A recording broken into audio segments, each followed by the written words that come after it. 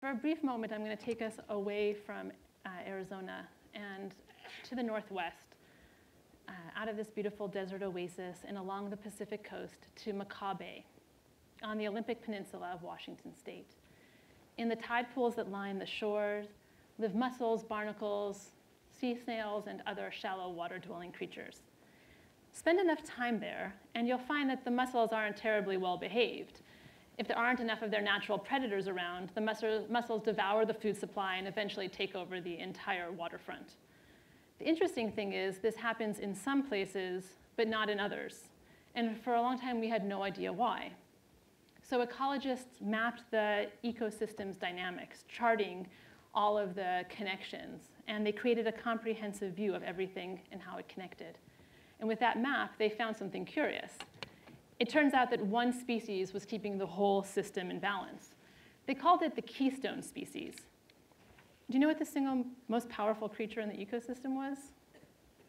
It was the mighty starfish, that staple of touch tanks across the country that when your kids pick them up, they don't even move. A natural predator of mussels, it was the starfish that kept the rest of the tide pool balanced between predator and prey. It turns out there are keystone species keeping entire ecosystems in balance all over the world. In Monterey, it's the adorable otters, eating the sea urchins and maintaining the kelp's teeming wildlife. In the Avon wheat belt of Australia, it's the honey eaters, who singularly keep the diverse flora pollinated. Keystone species. What if we have them in STEM education too? For the first five years of 100K in 10, this wasn't a question we had a bandwidth to think about. Working side by side and arm in arm with you, we were laser focused on building a network capable of hitting the moonshot 100,000 goal. And together, we have built that network. Because of you, I'm honored to announce that we have 54,000 more talented STEM teachers inspiring today's students, children of immigrants and coal miners, children of factory workers and doctors, dreamers all, and helping them to realize their dream. I know, it's so awesome.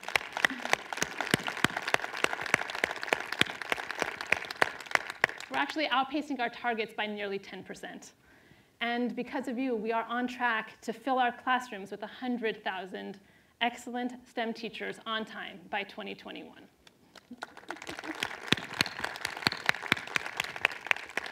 this is not us. Our, our, tiny team could not have done this. This is this network working together. And that moon we were shooting at, those 100,000 teachers, we were on track to reach it. But here's the thing. In building the network capable of hitting the 100,000, we actually were able to see something that had eluded the field. What if the success of our various efforts, these incredible efforts all around the country, were actually covering up the real challenge? Because despite our progress, phenomenal though it is, not enough people still want to become teachers or stay in the classroom. What if every other problem can be traced back to that? It's as if we're in a sinking boat and what we've done here is put together a team of bail bailers capable of bailing out the water just as fast as it's coming in, which is pretty great as long as all of us keep bailing. But bailing is tiring work. And if our arms start to get tired, we might start to quit. And those of us who have been in the trenches of education long know what that feels like. And if we ever stop bailing, well, without plugging the holes, that boat's going to sink. And so we had a choice either keep bailing out the boat in Sisyphean 10-year cycles of 100,000 teachers, or start to plug the holes.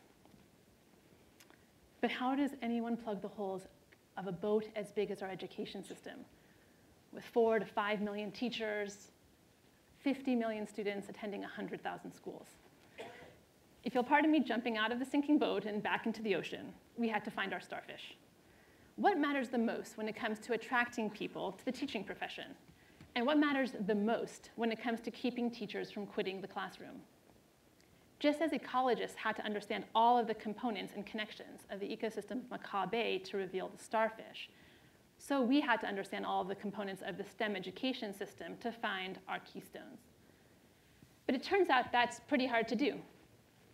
The writer David Foster Wallace opened his commencement address at Kenyon College with a little joke. It goes something like this. There are these two young fish swimming along, and they happen to meet an older fish swimming the other way, who nods at them and says, Morning, boys. How's the water?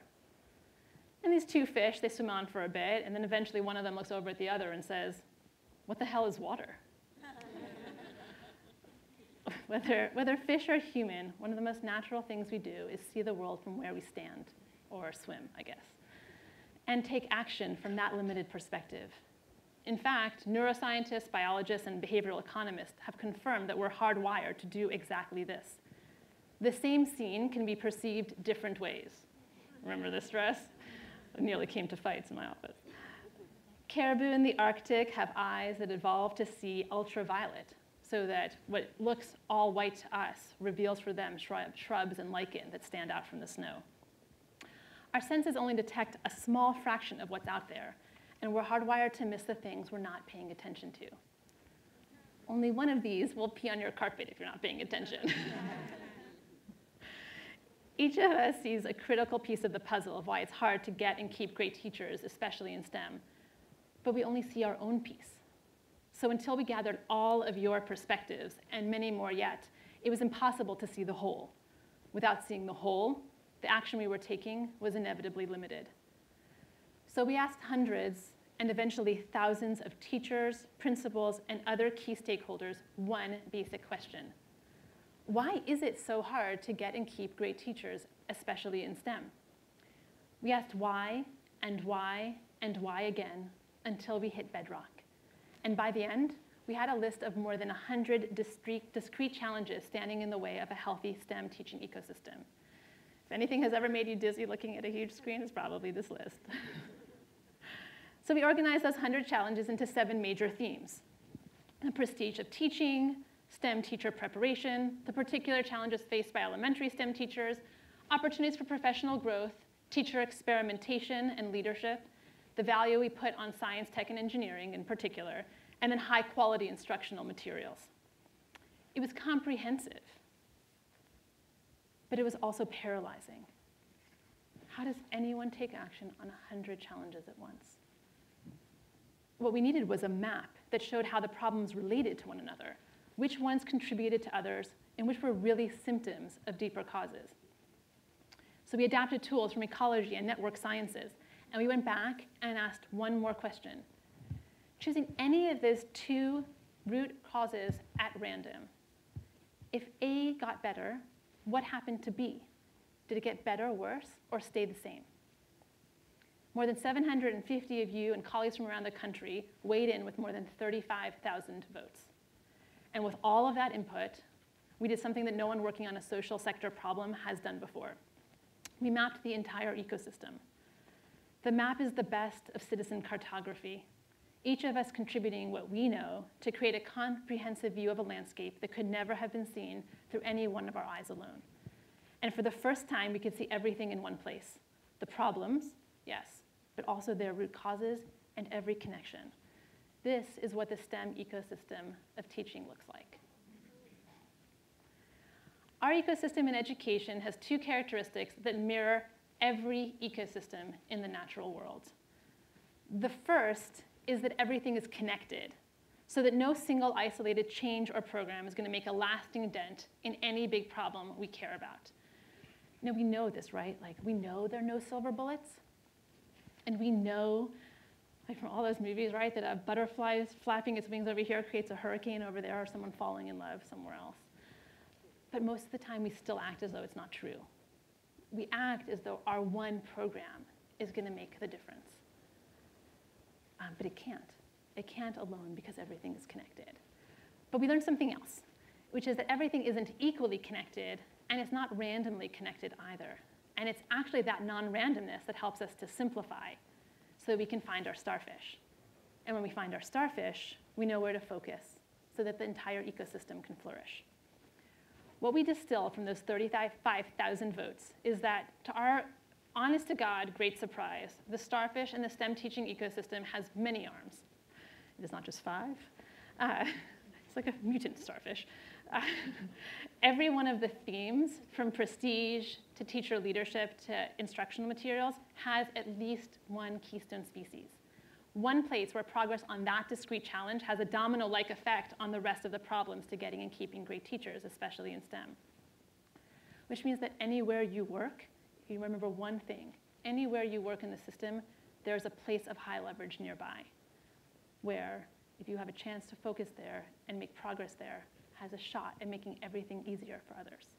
We're calling those, key, those keystone species catalysts, and they include scholarships or loan forgiveness for STEM undergraduates who become STEM teachers, statewide tracking of STEM teacher supply and demand, teacher preparation faculty with specific expertise in elementary STEM, some of my know are in this room, the opportunity for teacher collaboration and professional development during the school day, school leaders responsible for creating positive work environments.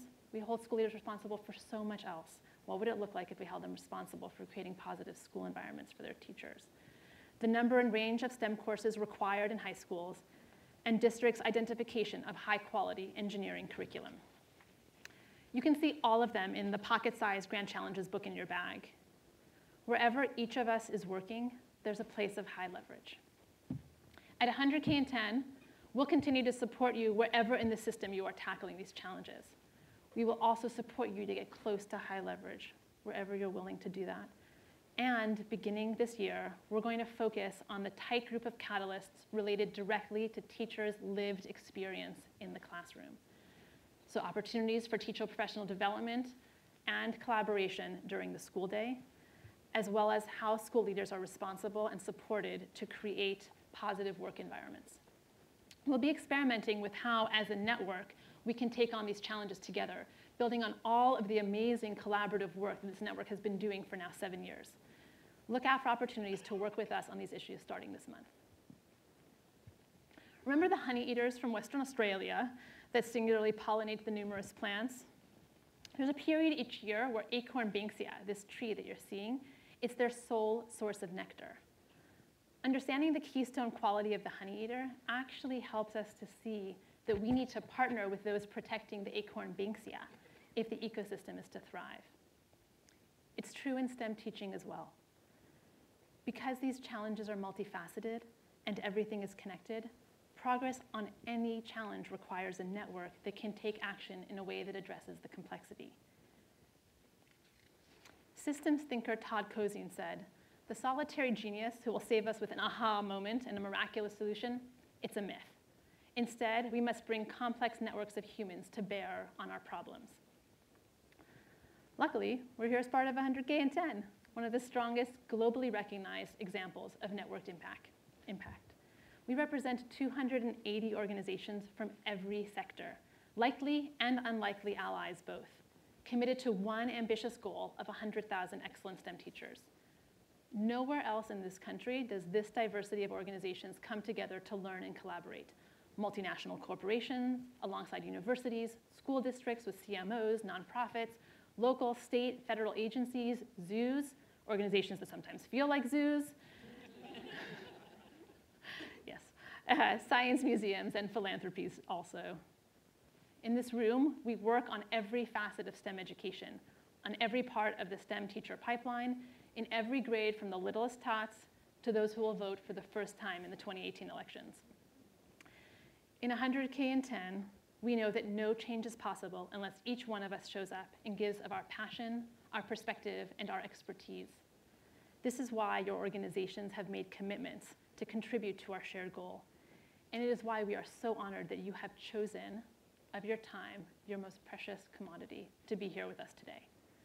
Our job is to make sure that you have a way to connect with whatever time and resources you have, not just today, but all year, in a way that will matter to you, to your organization, to the field, and ultimately to our students. This past year, we reached new heights as a network. The network facilitated more than 200 collaborations involving hundreds of people and organizations. You worked in large learning communities, in small prob problem-solving teams, on project teams, and one-on-one. -on -one. You co-invested in shared solutions and found innovative efforts to fund. And you told us that because of 100K in 10, 85% of you learned something new, 74% of you shared insights, and 69% of you tackled big challenges you could not have taken on alone. As a result, 33% of you started a new program from scratch, and 30% of you adapted another partner's practice. you made the countercultural choice to collaborate when you might have gone it alone, to reveal a challenge when you might have kept quiet, to share an idea as it emerged instead of holding your cards close. And when we choose to go together like that, and when we focus our energy on what we can solve together, that is when real change happens. The evolving study of our brains teaches us that the more we know, the less open we are to discovery and wonder. The STEM subjects taught well open us up to the diversity and complexity that surrounds us. They can unlock, in David Foster Wallace's words, a simple awareness, awareness of what is so real and essential, so hidden in plain sight, that we have to keep reminding ourselves over and over this is water.